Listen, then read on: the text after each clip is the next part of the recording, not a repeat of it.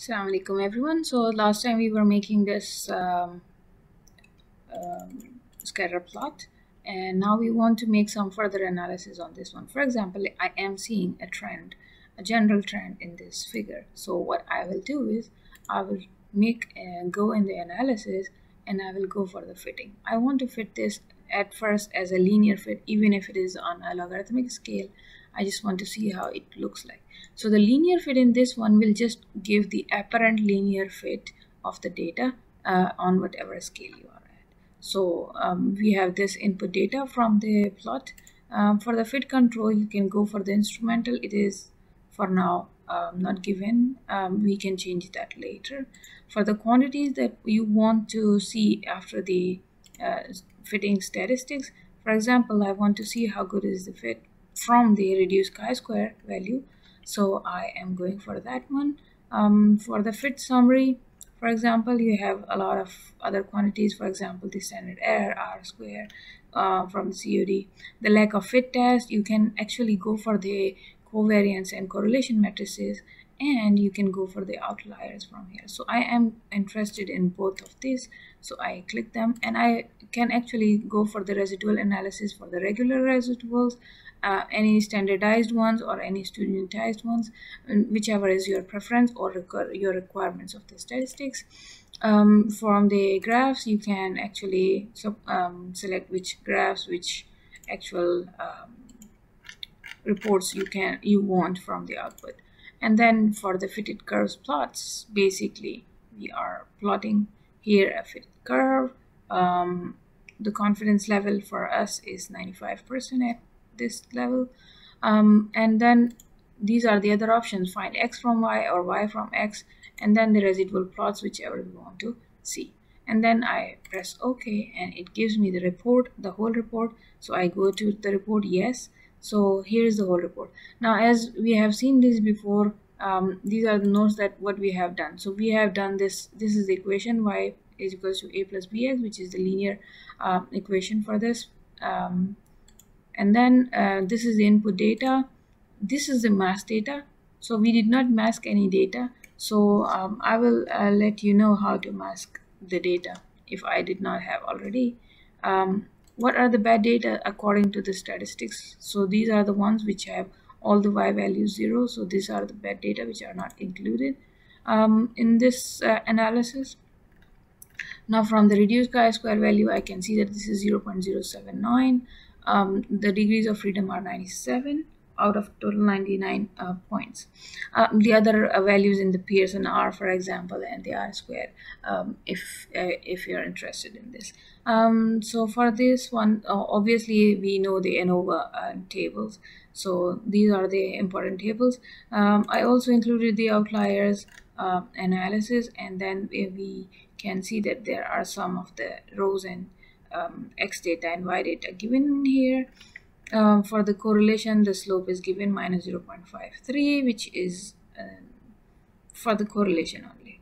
Um, for the mean uh, slope obviously because this is a um, plus bx plot so obviously the intercept is a which is 1.379 uh, and then slope is minus 0.188 so this is the same thing given in here and also now you can see that the weight which was instrumental at first now they have not applied any of the weighting and this is actually um, the plot. Now if you want to make the changes into the weighting for example if you want to make any change in the any of the parameters you can actually go again to this one and check all of the uh, quantities or whatever you want from this so these um, you can actually delete this from there because this is already here.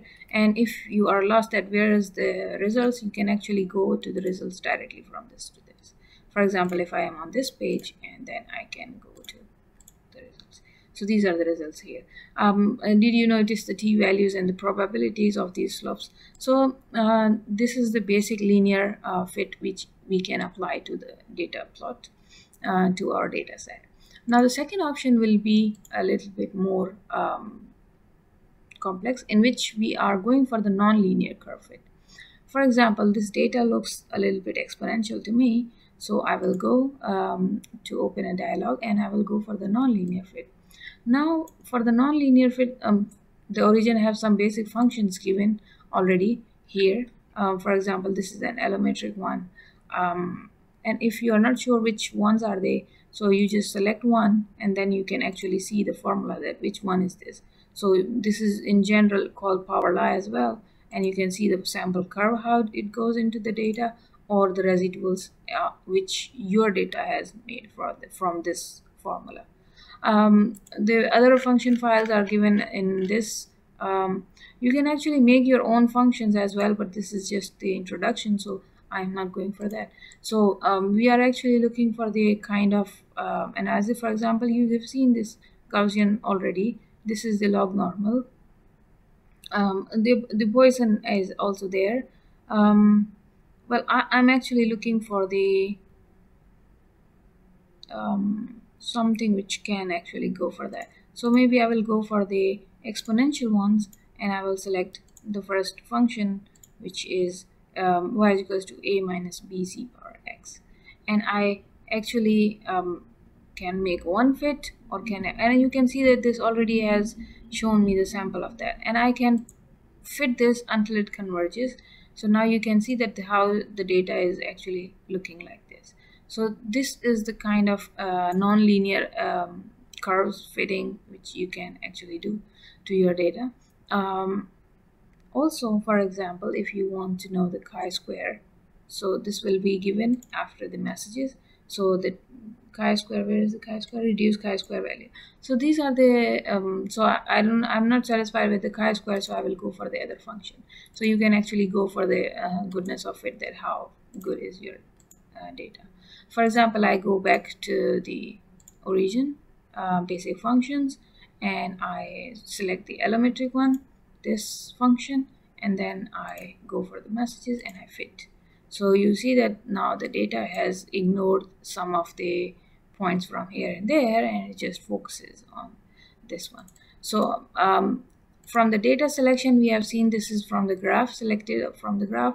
Also you can select the weightings from here as well for the variances and other different options. Um, for example if you want to tweak uh, the fitting so you can actually cannot auto parameterize initialization and you can actually give a fixed value for that. If you want to give a fixed value just click this one and just double click this to just edit this value. So these are the fitting options that you can apply. So for example if i am happy with the power law i will apply this. Again this gives a, uh, a report to me and then this is the report. So since uh, we know that power law was the function a times x power b then we have the value of a and we have the uh, value of b which is um, given easily in this one. So this is um, all of this again from the residual plots and everything all of the analysis regarding from there. Um, what if you want to uh, actually put some uh, data which has errors in it?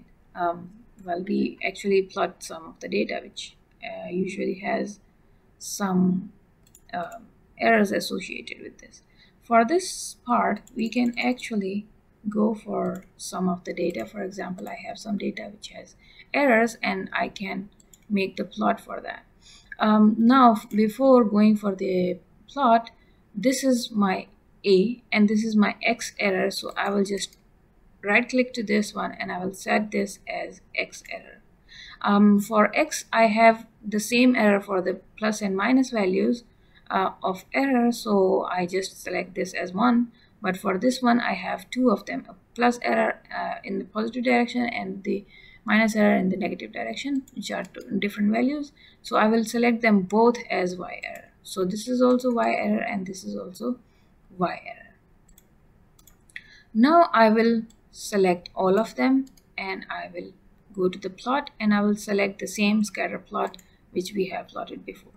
See um, this is very easy to plot with the errors now. Now you can see but then uh, I think there because of the template we have some problem in uh, recognizing the um, y errors. So I will give this y error which is if you just hover over it it will show that this has um, y error of the e column. So this was my plus error. I select this plus. And for this one this was my minus error. So I select this one only minus and I apply. So you see that all of the double things are gone. So um, just to be um, clear about this one some of them has very small errors. So these error or some of them do not have errors. So these will not show but the ones which have errors will show in so again you can um, change the colors and settings of the by double clicking and them and then you can just go for the errors. So the error bar has its options too to actually um, use it for the same color or just go for the other colors. For example I choose light gray for this so that it changes the color like that. Um, for example if I want to um, mask some of the points which are actually uh, do not have any error and I don't want to include them in the analysis. Or some of the point which are not really um, going with the trend. So what will I do is I will select this uh, point and I can actually go on this mask points on active plot or I can just go on in my columns to select the mask. But since I don't know which point is this one I don't have labels on so I will just go for this option and I will say mask points on active plot. And then I this you see this mask is shown with the cursor so I will just select this one and this one to mask. What does it do is it will select some of the points in the plot. For example here is the one which we actually masked and here is the one which the second one which we masked. Now this will not be included in the analysis. If I want to now linearly fit this one this will not be included. So now I will uh, so basically this is the point for the recalculation of all of the analysis. So I selected this plot and I go for the linear fit. Since we have done the linear fit already I will just go for the one which is last used. Um, it says some of the values have zero or missing weight value. So um, we may go to fit control and go for the no weighting and then we can just select. Now you see that it just goes for the trend because it actually because it actually um, ignored these points. So uh, the trend is very uh, clear now for these points. Now um, you can again see the slope of this one uh, which is the positive slope going. And then if you want to include these one again so you can just um, either go to the sheet which was you can actually go to source from here. And then you can actually select all of this column and say that unmask the whole range. So it will unmask the whole range. See? And then it gives it this lock and this value turns yellow because now you either need to recalculate or make some other changes and then recalculate. Now if we recalculate this one you see the slope has changed a little bit. So these are the points which are actually very important in this uh, point so uh, these are some of the values um, uh, so for now uh, I think the scatter plot is done. Uh, you can explore some of the options from here which are actually different types of the scatter plot. So you can actually make them as bubbles or the vertical drop ones. So you see that there are already xy error ones. If you had these you can just select them and then go to the uh, for example this one and then go to the scatter. And then you can select the y one or x y error one both um, bubbles or anything. And you can actually plot with the error band as well. So um, thank you so much for the today's video. And uh, we will be um, doing more of the videos on the origin series very soon. Thank you